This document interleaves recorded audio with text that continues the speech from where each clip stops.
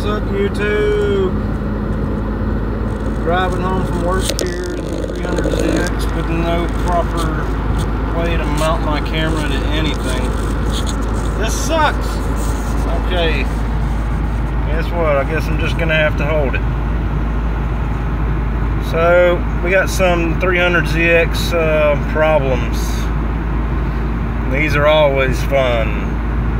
I know you guys might not can hear it right now, I got a, uh, I think I got a universal joint problem in the drive shaft and run a high risk of slinging the shaft. Dirty, dirty, dirty mind. Slinging the drive shaft out from under the car. So, kind of trucking along here around 60 and a 65, which is still kind of fast for what the problem is and I've got a terrible misfire still, which I don't know if you guys can hear that. But if you can hear the rumbling behind me, I think that's my mid-shaft carrier bearing, and I think my universal joints may also be out of whack. I'm hoping it's not anything in the rear end. I mean, if it is, I heard they were pretty easy to work on, so I have to video that if that is a problem. But I don't know. Trucking along here, 60. Do a little pull. Oh, it jumped bad. Like I said, you got misfiring cylinders. You have a tendency to not have any kind of power whatsoever, so it takes a while to get up to where you got to drive at. So, um, you guys have any suggestions or you know anybody that owns one of these cars, uh, do some looking for me or do some asking and see if they've had any of these problems and if they had them, they've had them fixed. How much did it cost to have it done? I mean, every shop's different, I know, but just a roundabout estimate would be nice. Because uh, I really like this car. I like it a lot and I put a lot of money into it already and uh, would suck if I got rid of it just because of something that was simple that seemed like something big uh, this car pretty good. You guys take a look around. Probably already seen it before.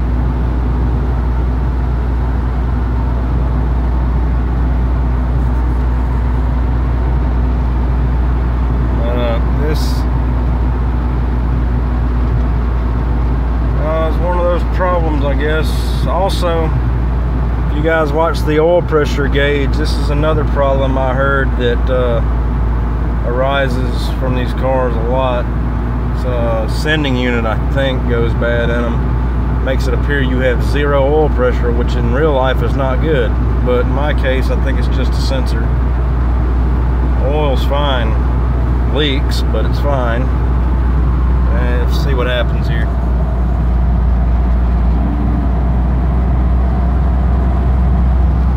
Look at that shit. I try to go off and show somebody something and it acts right. Wonderful. This car knows me too well, and knows when I'm going to talk about it, so it acts right. It's ridiculous. Intermittent, inter I don't know how you say that word, but on and off problems. They fix themselves sometimes. I don't know what, what that word is, but Jesus. That's what we'll call it for now. Jesus. But yeah, man, this rumbling is really, really bad. Might be stopping at a shop, see if they got time to look at it before I actually go home. I ain't got no money to fix it right now, but at least they can tell me where what it is, and maybe I can get to it later.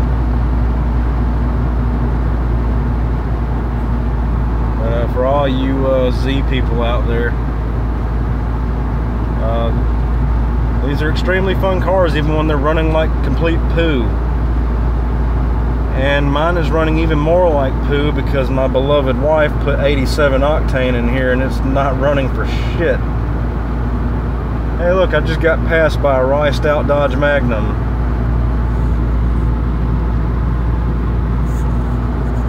Kind of looks clean though. I'll give him that.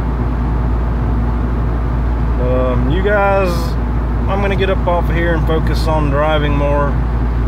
Oh, there went the oil pressure gauge, starting to drop.